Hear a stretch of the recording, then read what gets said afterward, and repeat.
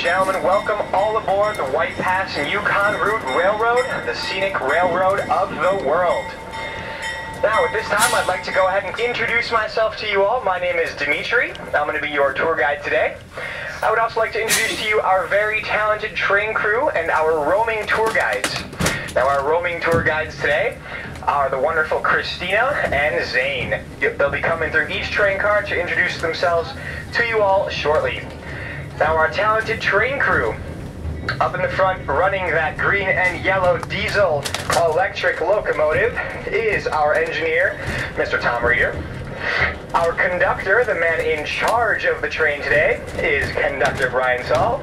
And assisting him, the man second in command, is our brakeman Steve Washura. Those are the gentlemen that are going to be coming through and collecting that smaller side of the perforated ticket that you should have already torn off. Now at this time, folks, I do have some important safety announcements to go over with you. Since everyone is on board and seated, please lend me your attention for these important safety announcements. Now, first and foremost, as you saw when boarding the train, there are platforms at the very front and back end of each train car. Now, folks, while we are within Skagway city limits, these platforms need to remain clear. That means everyone should be inside the train car and seated. Now, once we have cleared Skagway city limits, I will give you the okay so you can go out there and enjoy this beautiful Alaskan weather that we are having. But while within Skagway city limits, again, folks, everyone should be inside in their seats. Also, of note, very, very important, important is the fact that they, each train car is connected to the other by a thin metal bridge. Now, our number one rule here at the White Pass Railroad is that there is no crossing from car to car. Once again, folks, there is no crossing from car to car. The car you boarded this morning is the car you're staying on for the entirety of our trip. Now, please make uh, sure you do not rest your hands or fingers in the door frames. If the door is propped open due to the rocking of our train or a strong canyon wind, it can shut without warning and we would not want to have any fingers in that door frame. This goes for any windows that may be propped open. Also, on that note, please do not rest your hands on those very real stoves that are in each train car. Those stoves can get very, very warm. Now, folks, if you do need assistance or would like the temperature change in your coach car, please do not attempt to adjust that stove yourself. Go ahead and let one of our train personnel know. Now, folks, there is no smoking inside or outside of this train for the entirety of the trip. If we do catch you smoking, we're just going to assume that you're on fire, and we're going to take all measures to put you out. Now, there is also no consumption of alcohol at any point in time during this trip today. If you've brought something along with you, tuck it away and save it for the saloons in Skagway later on today. Now, folks, uh, again, just as a reminder, that number one rule have here is that there is no crossing from car to car.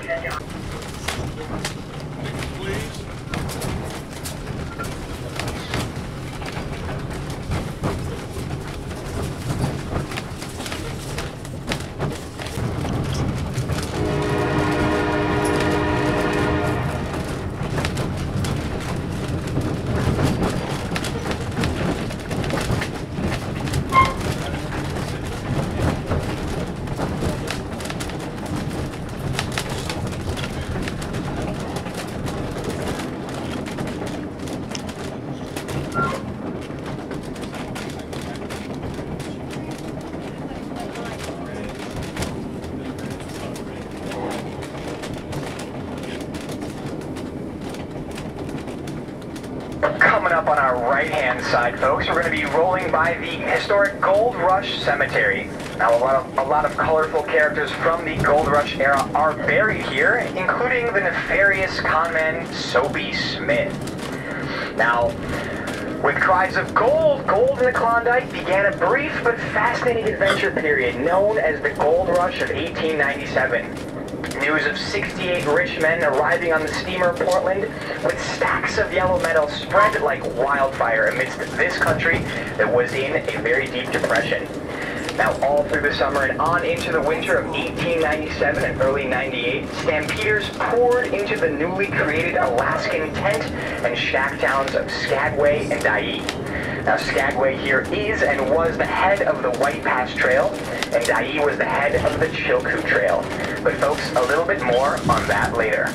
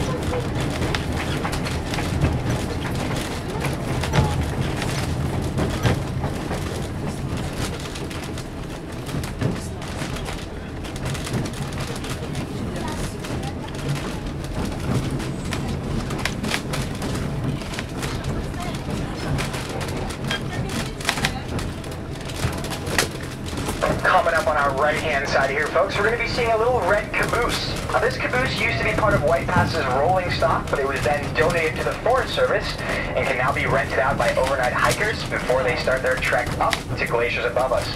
Now, this is the first time that we're going to be crossing over the Skagway River. The valley is going to open up nicely on both our left and right-hand sides, so make sure you've got those cameras at the ready.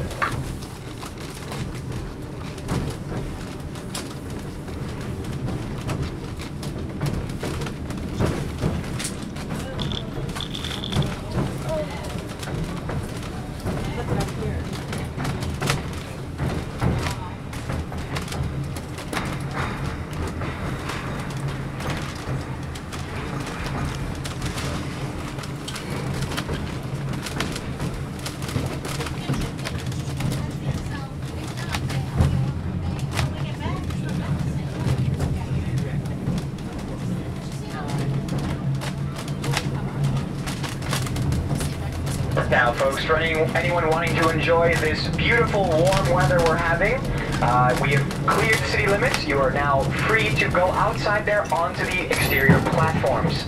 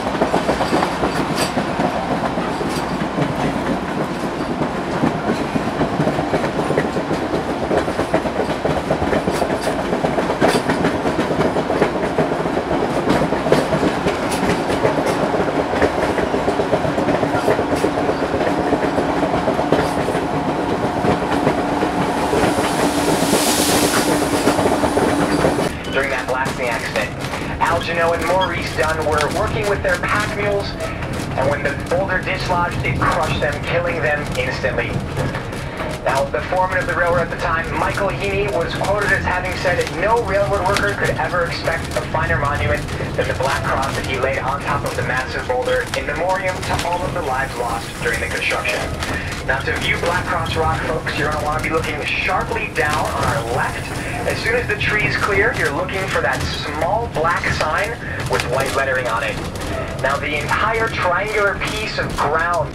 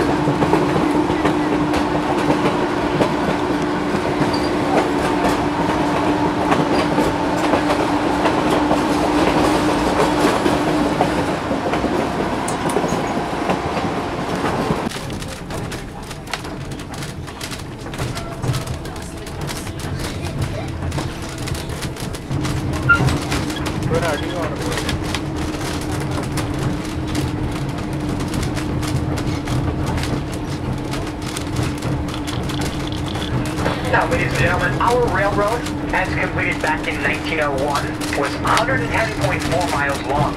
Now a distance that was only 80 miles as the crow flies. Now out of those 110.4 miles, 20.4 miles are in the U.S., which we're going to be riding on today. 30.9 miles are in British Columbia. The average grade up to the summit is about 2.6%.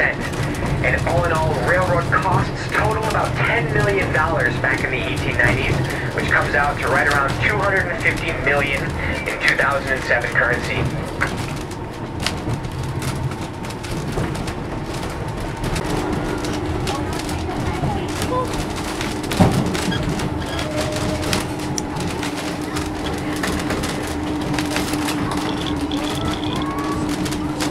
Now, folks, since you have joined us on such a beautiful day, I do have a very special treat to share with you that we don't get to see daily here.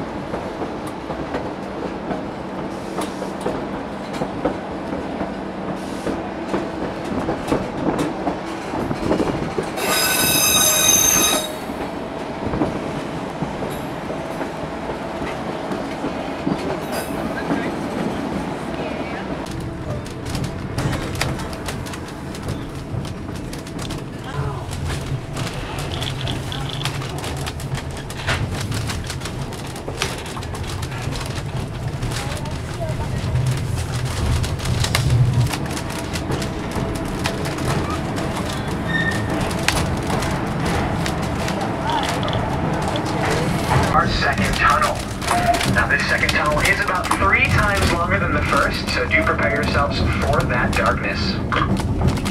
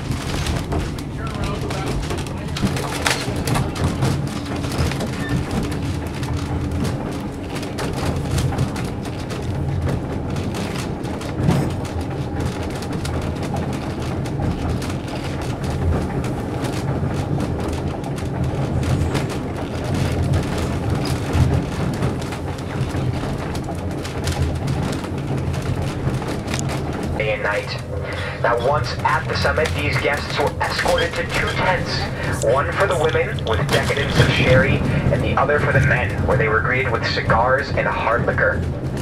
After being warmed by the blazing wood stove and spirits, the guests consumed an elaborate meal that included champagne and caviar. Speeches were made by Heney and others, glasses raised for toasts, and rousing cheers filled the air. Ladies and gentlemen, welcome to the White Pass Summit. We've reached an elevation of 2,888 feet, and up to your left, you can see the United States flag and the Canadian flag with that bronze obelisk